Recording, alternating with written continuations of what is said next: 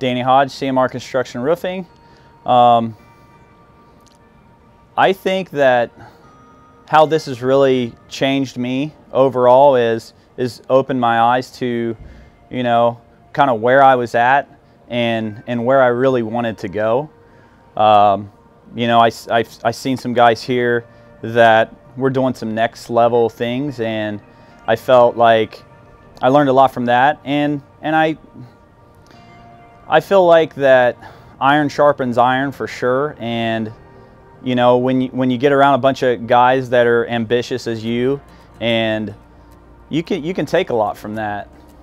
If you're on the fence and, and uh, you're thinking about doing this, I tell you, absolutely go all in. Um, this has been some groundbreaking stuff for me and for everyone that was here. Uh, I think we all are, are ready to take this to the next level and you definitely won't be disappointed if you make this decision.